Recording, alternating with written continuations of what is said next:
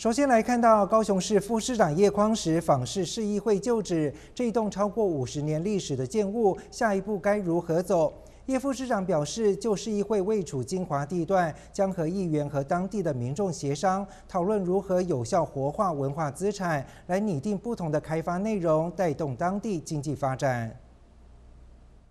高雄市副市长叶匡时上午前往新兴区访视市议会旧址，超过五十年的建物，看得出不少历史足迹。这很小啊，这样子那么多议员在那边。就对啊，因为我们本来是四十四席，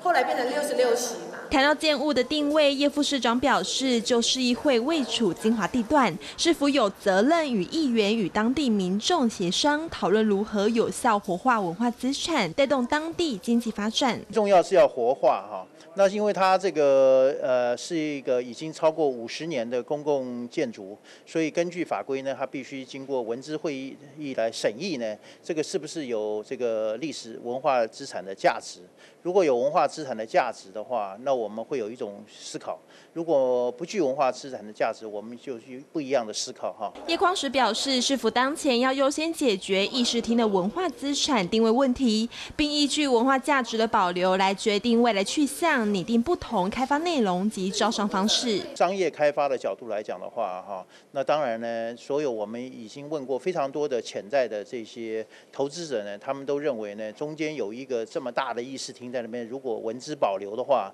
他他们是非常非常难利用。那整个地方要活化，相对会比较困难。那如果说呃，整个呢，呃，可以整体来开发呢，可能从开发的角度来讲，相对会比较容易一点哈。那我只是讲目前实际的状况，但是最后我们会尊重文资大会的审议，同时呢，会做一些公听，尊重呃各方公民团体的意见。文化局说明，就是议会土地重新分配比例后，国有土地占百。分之四十七，私有土地占百分之五十三，建物是市政府所有。因为考量旧市议会在高雄民主发展上有着历史意义，因此规划以现况保留的方式进行活化招商，后续也将会召开说明会公开招商。